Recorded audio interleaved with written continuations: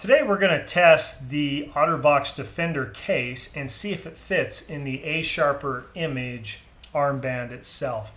The reason why we've chosen the OtterBox Defender is it's the largest protecting case for a phone and so if it fits in here we know that any other OtterBox case would also work. So again it's the Defender, we're using the iPhone 6, iPhone 6s model to make sure that it fits. So let's open this up. Pull out the phone itself. Notice that the phone has a has a clip-on case for the back for your belt. We want to remove that as that's not going to fit on any type of armband itself. So we'll remove that. And now we want to see if this phone will fit in this case. Again, we look at the OtterBox Defender is the largest protectant for these types of phones. And so if it fits, it'll be a good fit for any other one. When you size it up, we realize that we know it's going to be a snug fit itself, which is okay. Uh, when we look at the armband itself, we realize with the opening at top, that's where it'll slide in, but there's heavy duty stitching on both sides. So I'm not worried about any stress to the seams as we put in the iPhone case itself. So let's take this and we're going to slide this in to the top of the armband itself.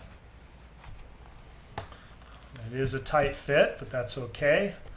We're just going to slide this down over the phone case. And just like that. It fits snugly down in there. All right, so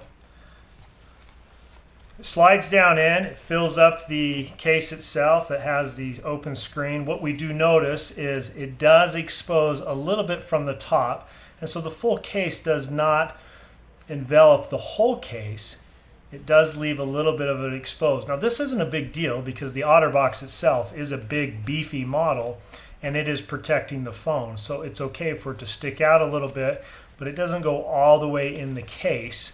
But because of the elastic material and it's a snug fit, there's not going to be any problems with it. And like I said, there's no stress on the seams, okay, and it'll fit nicely on your arm without any problems. So there you have it. The OtterBox Defender does fit in the A Sharper Image armband. It does fit snugly, and it does stick out, protrude just a little bit from the top.